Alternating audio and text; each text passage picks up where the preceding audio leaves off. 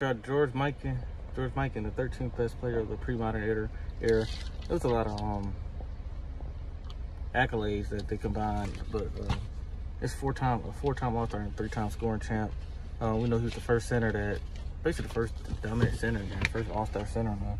His first year he averaged 28.3, second year 27.4. The third year is the year they start keeping track of rebounds. 28 points, 14 rebounds. He averaged 24 and 14, 21 and 14, 18 and 14, 11 and 8. And then for the season, he averaged 23 points and uh, 13 rebounds. One, two, three. He played seven seasons. In playoffs, he averaged 24 and 10.